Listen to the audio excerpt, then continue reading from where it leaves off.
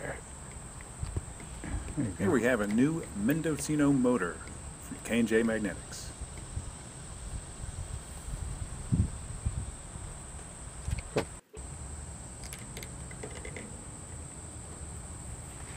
This is, I guess, a traditional Mendocino motor with a horizontal rotor piece that spins, floating levitated above the base. Almost. You set it like this, sometimes it won't start on its own if it's in just the wrong spot, and it needs a little nudge to get going. Once spinning, however, it really starts to go in the sunlight.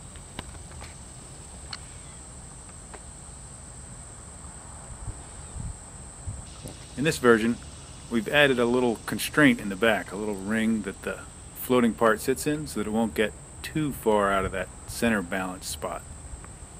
Do one uh, where you spin it the other way and it slows to a stop and comes back.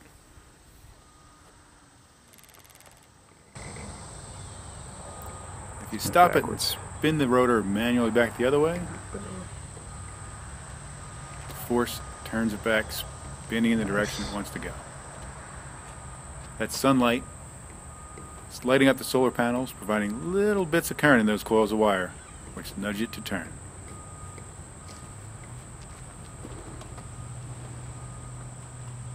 Because the hold on that spinning rotor is nearly frictionless, it doesn't take much to get it going.